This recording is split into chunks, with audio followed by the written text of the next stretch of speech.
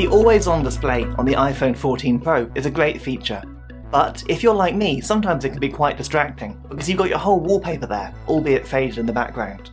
Well, with iOS 16.2, you can now remove that wallpaper image. Simply jump into Settings and then scroll down to Display and Brightness. From here towards the bottom of that screen are the options for the always on display. From here we now have two new options. You can hide the wallpaper and you can hide your notifications. So if I turn on the hide wallpaper toggle and then come out of settings, this time when I lock my iPhone, rather than getting the faded wallpaper, I'll get this nice clean black screen instead. There's no wallpaper, but I've just got the clock and my widgets at the top. Please don't forget to subscribe down below, there are hundreds more tips for your iPhone on my channel.